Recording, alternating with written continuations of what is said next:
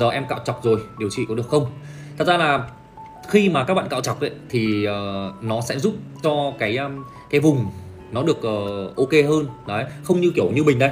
Như mình đây là mình đang để tóc dài thì mỗi một lần là mình cứ phải vén ra sau đó mình lăn kim sau đó là mình xịt mino.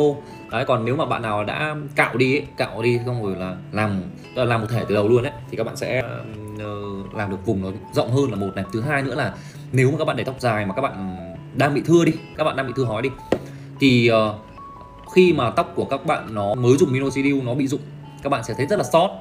Còn nếu như mà các bạn uh, cạo đi rồi thì gần như là các bạn cũng chẳng nhìn thấy tóc lúc lúc nó rụng khi mới bắt đầu dùng minoxidil đâu. Còn uh, nếu như mà các bạn um, uh, sử dụng cái combo mà minoxidil DHT blocker và lan kim ấy đó là một combo cơ bản mình đã tổng hợp hết rồi. Và ở trong cái phần giỏ hàng đấu kênh các bạn cứ vào xem nhá. Ở, ở trong đấy thì mình cũng đã tổng hợp hết rồi chỉ việc vào để nghiên cứu thôi.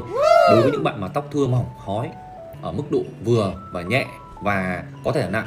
Nếu nhưng mà không phải quá nặng. Nặng như kiểu là bị hói di truyền nhưng mà các bạn để giai đoạn cuối 10 năm các bạn mới xử lý thì rất là khó. Đấy nhưng mà chỉ vài năm thôi, một, hai năm, ba, bốn năm thì ok, vẫn có thể là xử lý tốt nhá.